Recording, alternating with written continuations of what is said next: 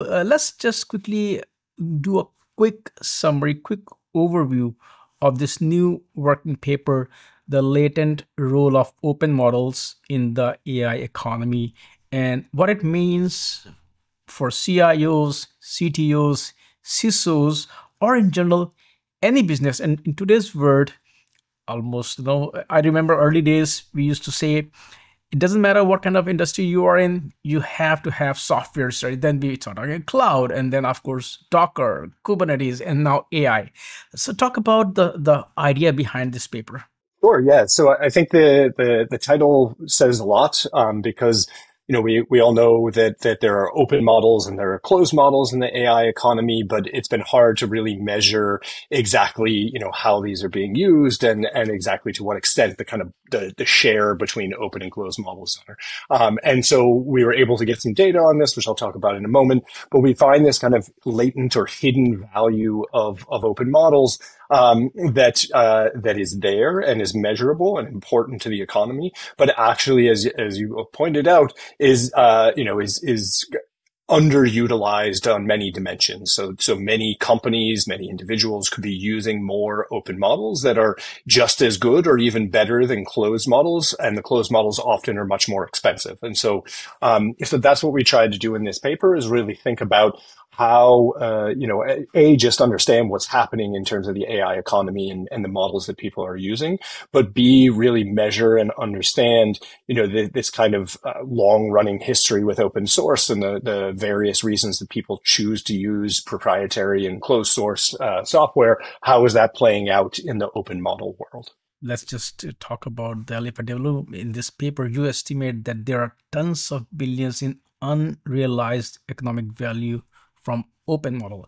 Can you walk us through what's really behind that gap and how you arrived at that estimate? Sure. Yeah. So so we use data from a, a platform called Open Router, uh, which many of your listeners may have heard of before, but it's essentially a, a gateway to to LLM inference, right? So these large language models that, that are the backbone of a lot of the Gen AI work um, are are there's many of them that are out there, and Open Router acts as a, a platform where you, as a developer or a user, can easily say, you know, today I want to use GPT five in the application I'm building, but tomorrow I want to use, you know, Llama three or something like that. And you can easily swap between these. That's useful for developers because it makes it easier for them to, you know, go back and forth and test different models within their own applications. But as a, as a byproduct, they, they make some of their data public on who's using what model and we can actually, and, and how much. And so we can actually see that. And so what we end up looking at is something that we, we estimate is about 1% of the overall LLM API economy that's out there, which, you know, in itself is a smaller piece of the, the, the whole AI economy. But we can really see at a very granular level who's using what model and, and how are they being used and how much. And, and also importantly, what are the prices of these models? Um, because unlike you know traditional open source software, um, open models in the AI context, you can download them and you can run them yourself on on your own servers. Uh, but instead, um, what we see in the, the open model context is that people will often kind of still run them on servers, and so you're still paying a bit for the compute power, even if you're getting the the models themselves for for free because they're open. So that's sort of the, the data set and the, the data that we're looking at. And what we see in this is that people are using, uh, are the closed models much more, right? So about 80% of the usage that's, that's seen on Open Router, um, are closed models. Um, despite these models having much higher prices, about six times, uh, the price of open models on average. Uh, and often there's only modest performance advantages, right? So we do a whole bunch with using the various benchmarks that are out there for understanding the, the goodness or the performance of these types of LLMs. And we use a couple of different ones and, and are able to show that, you know, yes, often the closed models have uh, leading performance, uh, but frequently the open models catch up very quickly and that rate of catch up is actually getting faster to the point where the open models are catching up to the, the closed models um, almost within uh, three or four weeks, right? So within within a month. And so, you know, when we think about all this in aggregate, uh, the obvious question then sort of becomes, well, if, if the, mo- the cl- open models are, are almost as good and are much, much cheaper, why are so many people uh, preferring to use the closed models, right? And so we we t- kind of take that as a as, as a challenge, and and um, that's something we're going to dig into further. Um, but we see these variety of reasons why um, why people may be doing this, and we're we're going to continue the work to to try and tease them apart. So, um, just to give you a sense of like what those those reasons are, you know, we can think about um, you know the the benchmarks may not be measuring actual usage, right? So when we're comparing these models on benchmarks, it's not really capturing what people care about when they're using using them.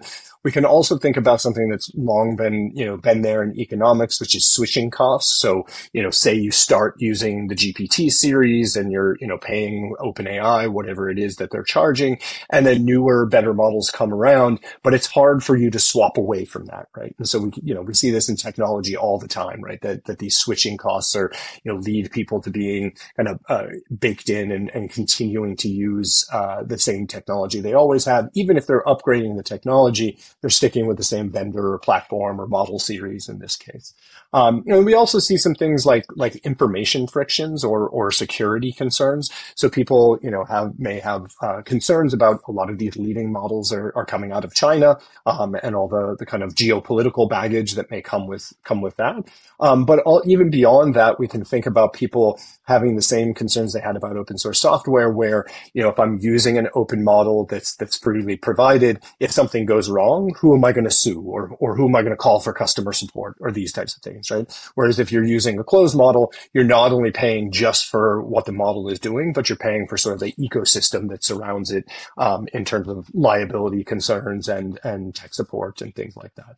Um, so we're we're uh, actually probably going to gear up and run uh, uh, some surveys to try and actually dig into that.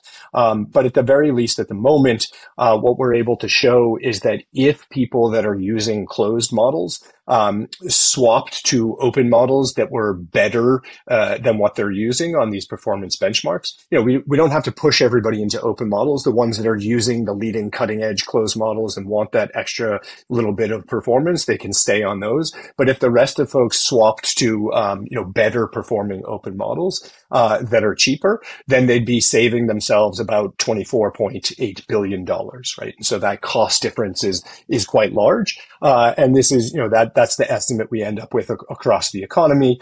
Uh, which is substantial when we consider the estimates of the investments that are happening in AI, uh, you know, this year, right? And so, uh, and so that's that was our goal with this paper. Was not necessarily to, you know, take some very strong statement on open is better than closed, but just to think about how the end users who who may, you know, be very aware of the closed models because they're better advertised or more prevalent in in kind of the mind share, um, may be, you know, un, unintentionally costing themselves more when they could be getting similar or better performance uh, for a cheaper amount.